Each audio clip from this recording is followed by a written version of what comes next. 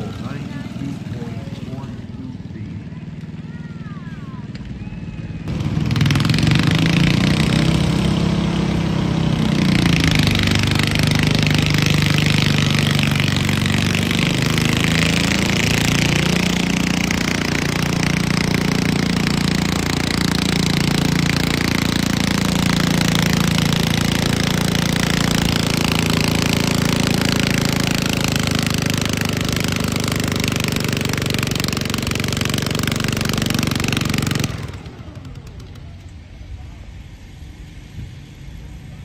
At the pull of 98.91. As we're told. Steve L is up next. Brenton L.